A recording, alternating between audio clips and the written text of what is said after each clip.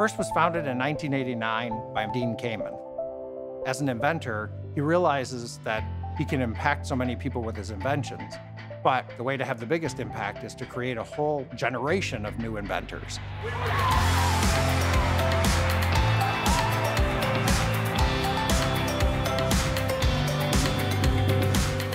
Through hands-on, engaging robotics challenges, FIRST ignites passion in STEM for kids ages 6 to 18.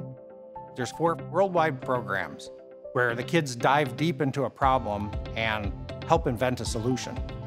Once you get the challenge, you figure out your game plan. You make a robot and you code on it. When it works, I'm very happy because we worked really hard.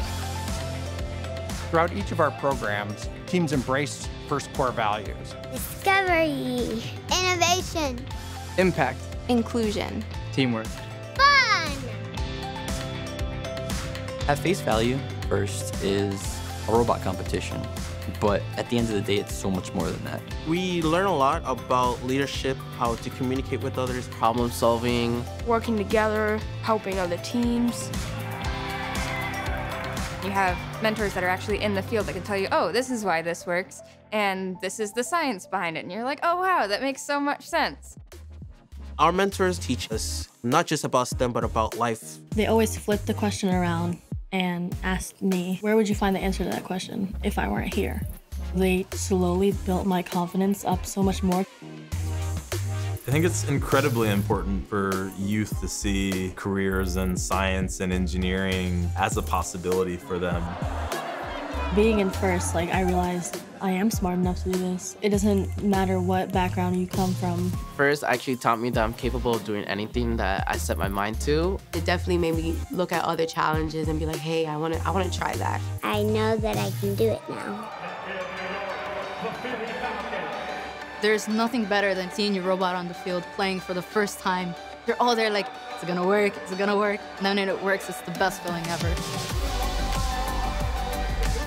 Even though we're competing against other teams, one thing that we really focus on is cooperation, which where every single team who we're competing against, we're also working together. It's very competitive, but you're friends with the people that you're going against. It's like a sport, but in its own way, it's better than a sport.